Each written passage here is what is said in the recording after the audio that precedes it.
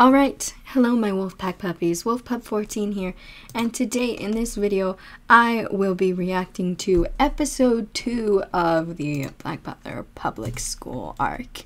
As always, I won't be showing too much of the episode itself, but I will be showing screenshots that hopefully you guys can enjoy. Alright, there we go. Uh, episode 2 is called His Butler in Disguise, and I believe that this review episode will be much faster because we won't go through the intro. Well, actually, you know what? Scratch that. We are going to go through a little bit of the intro just because just because there's a little bit of the intro that I want to show you and I will be taking screenshots along while I react to this because I believe it would be faster than just going back and trying to find all of the screenshots that I need. So, um, anyway, you know what I'm really excited about? I immediately recognized it probably by the ribbons here, actually, to be honest. It is the beginning cover. At the beginning of chapter 69, so it's right before the page where it has all the prefix that's the end of the intro. So at the beginning, Sebastian is telling us what a housemaster does, and Ciel and Macmillan are passing him. I really like listening to the Japanese. It's it's really fun hearing them actually use Japanese honorifics, even though this is set in 19th century England. He's telling us more about what they do. Also, excuse me if my voice sounds a little bit different. It is in the morning, I'm trying to push out this recording before the next episode comes out, and it actually comes out today. Right now it's like 9:18. Really, this is just a lot of pretty like scenery and animation. Ah, here we go. Uh, finally, something. Okay, here is the amazing part where Ciel is indirectly ordering Sebastian to do some stuff. It's really it's really fun actually to watch the English subtitles and then the Japanese subtitles on the bottom and then actually be able to read the English on the paper too. So now they're going to grab some amazing like still life inspiration from the manga. Oh wow, that's fast. How am I to get screenshots of that? Oh wait, hold on, I got it. So we're basically watching Sebastian, again, clean up for Ciel. I am so excited to actually hear this in English. I really hope they do an English dub. They're probably going to do an English dub. I love how even though Sebastian is still a demon, he complains like us humans. And he's finished his work just like that.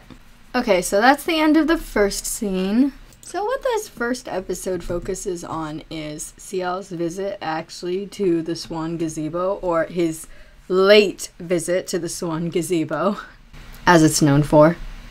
You guys will understand what I mean if you've read the manga, or or you'll see you'll see further in this video. So right now he's basically just talking to Macmillan, or Macmillan's mostly doing the talking. Ciel is not talking that much. Uh, we'll just skip ahead. They're basically talking about how it's impressive how Ciel is able to do so much of the work that Clayton puts on him. Okay, so there's this moment where Ciel is kind of showboating how it's so easy for him to do, and then we just see right in front of the camera Sebastian walk past, just like, Yes, that's right, young master. You are doing all of the work. uh, I just I just really like the um, the animation for Macmillan, and I'm so excited to see the animation for the other characters we have yet to meet, like Soma Asman Kadar, and who else is new that comes in? I guess more animation of Maurice Cole. These are some, actually, to be honest, these are some interesting camera angles. Like we're looking through the decorations inside the classroom then we're looking where he's accepted by one of the prefects to become a drudge, even though that prefect looks absolutely nothing like Clayton. I think this might be the part where someone walks in and tells Ciel, or is that at a later time? That might be at a later time. Just such cute little screenshots of Ciel. I can't get enough of them. I need, I need them all. I need them all. Oh, he's adorable and not at all evil and planning to find Derrick Arden and also like uh and definitely not going to do anything to Purple House to find out to rat out Derrick Arden. Of course not. Look at that smile. That's that's not an evil smile at all. That's just that's Ciel being Ciel. Oh, finally, we're at the swan gazebo. Okay, there we go. There's a beautiful little swan up here. And okay, I'm getting a little more energetic, guys. I'm ready. I'm ready. Oh my goodness, the roses. Oh, that's so beautiful. So for a second here, let's look at who is in this uh, panning frame, this panning scene. We have Cheslock, who we haven't seen a lot of since the second episode actually. There needs to be more there needs to be more animation of that. And then we have Gregory Violet just sulkily staring at his tea. We have Lawrence Bluewer reading a book. Clayton's just stoic as always. I think he's just always uptight like that. Redmond is just lounging on a gigantic gigantic sofa or something. Maurice Cole is right there. We have Greenhill, and standing next to him is Edward Midford. This is the part where Maurice Cole is kind of just acting. How should I say it? Redmond compliments Maurice Cole, not knowing all of the crazy stuff that Maurice Cole does on the uh, on the sly back backstage. They did really well with the animation. I know we're supposed to hate Maurice Cole, but I'm just impressed by the animation, to be honest, of him. So I honestly do not hate watching him. I I dislike him as a character, but man, the animation is good for him. There's there's Greenhill talking and he's also lifting weights while talking. You can see the weights in the frame too. Everyone's excited for oh, what? Redmond calls it Lawrence's little cutie pie? Wait, what? Cutie pie. Just the way he said it was funny. Lawrence is, uh, he's probably just as strict as. He's where Clayton got his strictness from, most likely. Yeah, everyone, everyone in Blue House except maybe, except McMillan is really uptight. It seems. Oh my gosh, I didn't even notice this. What the heck is, um, what the heck is Gregory Violet doing? Is he mixing the beverages together into his tea? Oh. Oh. Violet, stop. Clayton's going to, uh, start describing what he thinks of Ciel. Oh, they use the same frame. Oh. Uh, they use the same frame from when Sebastian was making the, tidying up the room. Ah, they used Sebastian's, uh, they used the pudding that Sebastian made. Aw, so sweet. Cheslock got a little line. Hey, gotta give some appreciation to Cheslock. He has not spoken. You know who else hasn't spoken? Someone else who's also at the Swan Gazebo? Bluewer's surprised that. I think this is the first time Bluewer's heard. Because intermingling between the houses is forbidden, I think we remember them saying that in the very first episode. Why is Gregory Violet now blowing bubbles using a straw into his tea? Which it, it doesn't even look like tea anymore. They all get serious on uh, when they start questioning Gregory Violet. Apparently, they're upset at the fact that Ciel was trying to meet a good friend of his, Derrick Arden. Hmm. I wonder why he's not allowed to go into Violet Wolf House at all. That's that's interesting. You wanna, you wanna, you wanna talk about that? P four. Yeah, I'm surprised it took. I'm surprised it took Edward Midford that long to recognize. Oh, that's right. They don't know that Ciel doesn't know that Edward is also at Weston. You know what they did a really good job at? They did a really good job at hiding what Edward looked like because were were people I bet people were excited to see what he looked like in this new animation. Everyone was excited to see I mean, I was excited to see even what Soma Asman Kadar is going to look like. Was going to look like. I'm excited to see what Lizzie's going to look like during the cricket tournament. You know who else I'm also excited to see? Who else? Who else? I'm excited to see the entire Midford family because I know they're all there. You know what's interesting is the fact that they decided to hide Edward Midford's face right before they ended up just showing his face. So I guess that's to add like oh. Blue's just covering his ears. He's like, goodness, Greenhill, could you be any louder? What they changed with the audio is they actually put this audio right here where they're showing Bluewer over the animation of when we first see Edward Midford. But it's actually not what he's saying. He's saying thank you very much. Just like in the manga, he mentioned that Ciel was his cousin and then Lizzie's betrothed. Um, little pouty Edward. He's he's not very fond of Ciel, let's be honest. Wait a second. Let's talk about how much younger he looks compared to Book of Atlantic. That's interesting because remember, there I'm going to guess that Edward and Cheslock are 17 because they have one more year to go before they become the prefects. I think how it goes is you have the prefects who are in their last year, and then you have the drudges, and then those drudges have drudges. That's where Ciel is. So, for example, prefect Bluewer, and then you had this in the manga too, down to Drudge Clayton, down to Drudge Ciel. I think all of the boys are assigned drudges, yeah. Oh, they mentioned the Campania! Oh, wow! Wow, that's really interesting. Kind of glad they mentioned that. Is that how it started? Redmond started asking it because he wanted to hear about the story of the Campania. Very good job, Redmond. Ciel, you just got your in. They're talking more. I'm gonna skip past this part. Oh, oh, there it is. There it is. He's like, he's like, mm, I'm not sure. I'm not sure. We should invite another boy here. I mean, I'm, I'm sorry. I'm, I'm over exaggerating him. Oh, that's interesting. Just that little animation shift. It's, it's also, it's also kind of thanks to Edward's help. He speaks so well of Ciel. So that's a, that's another ticket for Ciel to come to the Swan Gazebo. Is it just me, or does it feel like Edward's front bangs are a little bit shorter? Oh wow, they changed the perspective! In the manga, he's facing towards the right, but in here, he's facing to the left. That's interesting! I just noticed that, guys. Well, Greenhill's convinced he's got a good drudge, and I'm sure they all believe that Ciel is a good one too. Ah, Look at that. There's some green line bonding. Oh yeah, they actually issue one of the rules at Weston. You're not allowed to address people by their first name.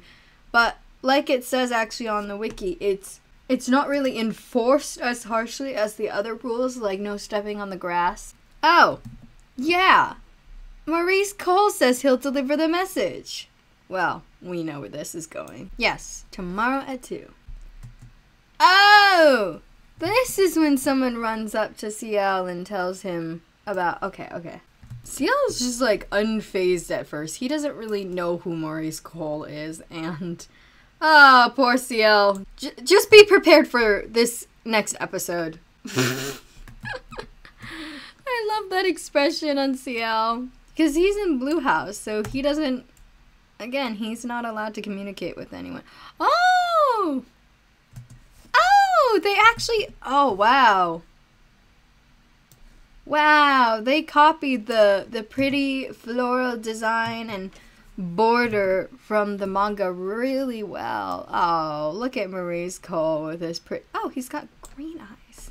I just realized he's got green eyes. Okay, can we talk about how Maurice Cole? No, not Maurice Cole. Oh my gosh, I can't believe I just called him Maurice Cole.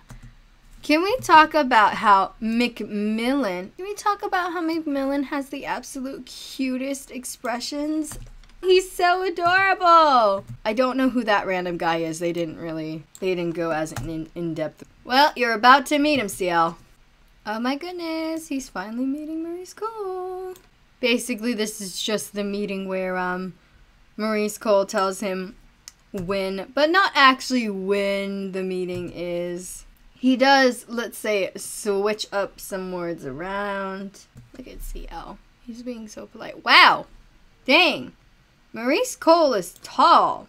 Or maybe, see, because Ciel's like five foot. How tall is Maurice Cole? Oh, look at that little baby expression. Oh, he's just a baby. It's just a baby. Aww. He's just kind of blankly staring at someone in this screenshot I got pulled up, but this is basically just a screenshot of the little hallway that they're in. Oh, here's here's the question. Pop pop the question. I'm surprised that Maurice Cole didn't get impatient while Ciel had his inner monologue. Ciel, do not do a creepy smile, otherwise he'll suspect stuff, okay? Okay, good, good. Oh, there's there's Sebastian down the hallway. Nice. Hi, Sebastian. Oh, yes. Hmm. There is something a little different that Maurice Cole said. What is this? It says four o'clock, and they actually making an effort to zoom in on his lips, cause it's supposed to show the different it's supposed to enunciate and, and, and stress that something else is different yeah actually i'm halfway through this episode i think each episode will take around 40 minutes to explain i just realized i tried to make this shorter i thought it would be shorter because of just because we didn't have to go through the intro and outro, but maybe not. Oh, there's Ciel's evil face. Oh, yes. We love that. Oh, yeah. And then everyone comes rushing in to cheer, to cheer for him, because I don't think they get to talk to people who go to the Swan Gazebo that much. And and again, Sebastian is subtly walking past. Wait, how did all of those little boys get to Ciel first if Sebastian was already walking down the hall. Alright, that's, I think that's where I'll end it. Oh, yeah, it's going to take 40 minutes for Everson. Ah, okay. So I guess these are each going to be in two parts. We didn't even get past the first chapter. Because I think they are covering at least two or three chapters. No! Nope, just two. They're covering two chapters each time. Thank you so much for watching this first part. I will be recording the next part, I think, after I watch this next episode. Like, share, and subscribe, and as always, how long? Oh! Um, um, um, uh, um, uh, um, uh, uh, uh, I'm gonna, uh, oh my gosh, that is so loud on my ears. Wait, hold on, hold on, hold on. I gotta turn that down. Hold on. All right, there we go. So here's the first one of chapter, let's see. What's his name? Oh, Ciel and McMillan are passing him. Ooh. It's a pretty layout. Okay, wait, hold on. This is an adorable screenshot. I gotta get this screenshot. Hold on. Okay, there we go. I got it. Wait, is this zooming in? No, it's not zooming in, so I can get a full screenshot of this one. see if I can get a screenshot of everyone. Is it a chase or... Oh, why can't I get a screenshot of your face? Come on, Maurice Cole. Aren't you so confident in your beauty? Just show me your face. Okay, you know what? That's the best I'm gonna get. Redmond, your eyes are gonna have to stay closed for this scene. I'm sorry. It's the only screenshot I can get. Maurice Cole is being difficult. Okay. Yeah. So. Ugh. Yeah. Okay. Okay. Okay. Except McMillan. I can't speak. I could get more screenshots of this.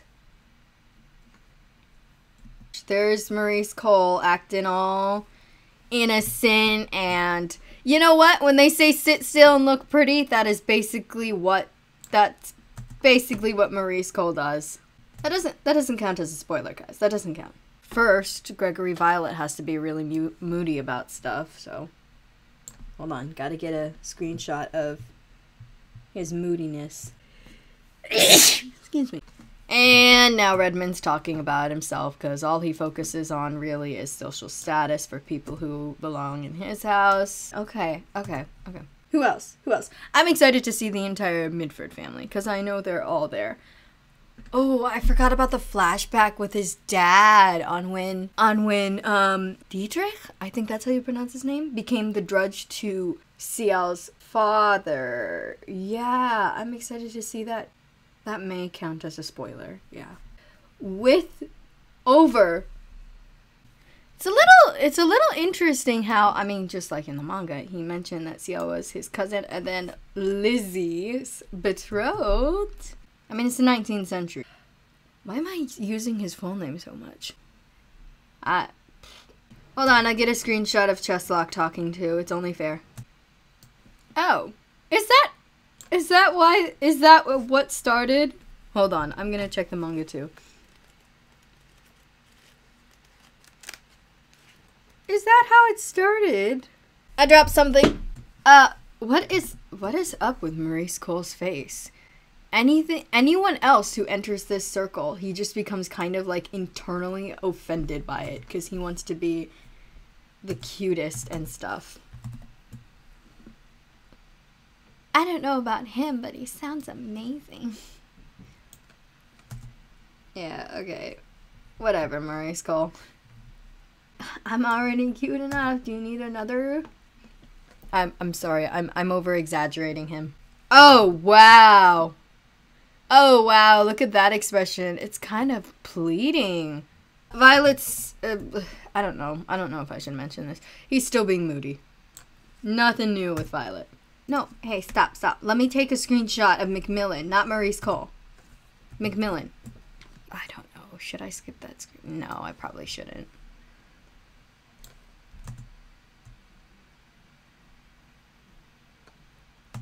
I'll, I'll, I'll take a screenshot of this too. I am getting the best screenshots and I'm not even trying to get these certain screenshots. Most of the time I'm just trying to get the screenshots with subtitles on it. Ciel, do not do a creepy smile, otherwise he'll suspect stuff, okay? Okay, good, good. I'm talking to them through the screen. Don't worry, they can understand me. Oh,